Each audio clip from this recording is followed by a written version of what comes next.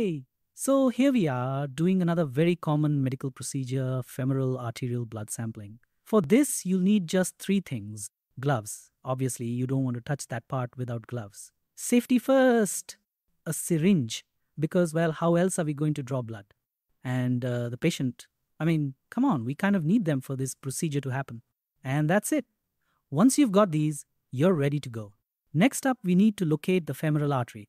This is the part where we pretend to palpate the artery. Here it is. Oh, wait, not here.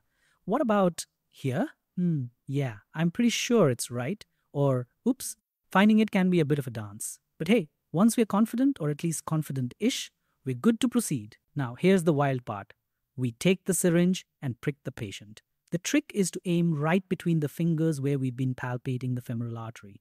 And bam, wait, no bam. If you don't hit it right away, just adjust ever so slightly, like 2 millimeter to the right, and bam, we're in. Precision is key, but hey, uh, a little finesse goes a long way. Next, we aspirate with gentle pressure. Or, you know, not so gentle. Just get it done. Once the blood starts filling the syringe, that's it. Congratulations, you've done it. You're basically the conqueror of the world, or something like that. Wait, there's more. We've got another procedure lined up for you. It's called needle decompression, which is done in pneumothorax. And trust me, it's pretty cool. Definitely make sure to check it out.